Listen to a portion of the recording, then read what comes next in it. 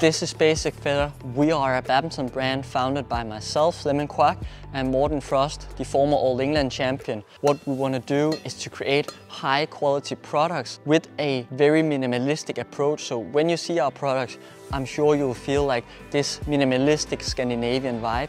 That's what we believe is missing in badminton.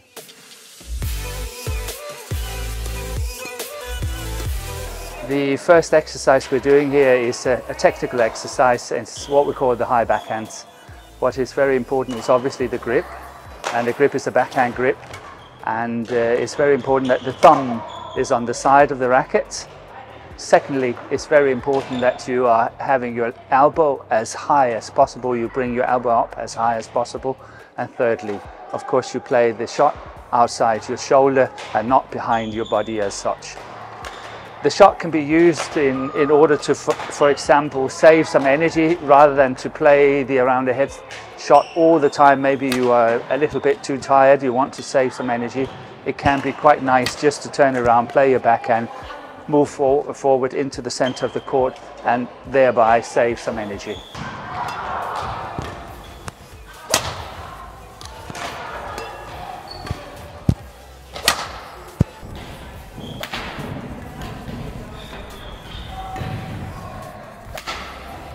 So let's start talking about the cross backhand clear where I'm meeting it super high.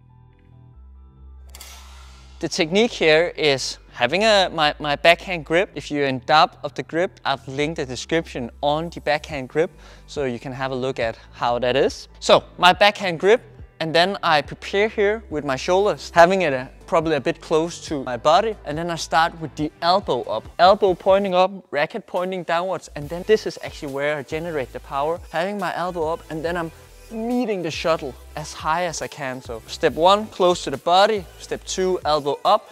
And then I use my thumb to generate the power from having my racket pointing downwards and then meeting it at the top. Where I want to reach the shuttle when I want to do the, the backhand clear cross court, of course, is slightly in front of me if possible. I can also reach it just outside my head, but I would prefer not to have it behind me because then it's really, really difficult to generate the power that I need. So stay super relaxed. What I'd like to remember, since we want to play it cross court, where I hit the shuttle, my racket is pointing slightly cross court because if I'm pointing it straight, yeah, of course, the shuttle will fly straight. So I'm reaching it, playing it here, and my racket, as you see, is pointing towards the backhand corner. As I mentioned, it is a tricky shot, this one, and I wouldn't recommend it all the time.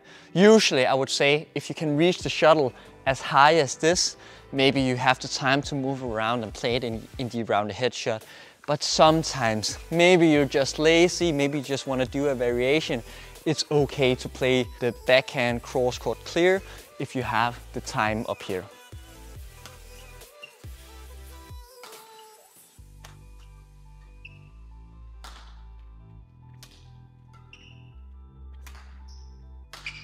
If you liked watching this video and enjoyed it, please press the subscribe button and subscribe to Basic Feather.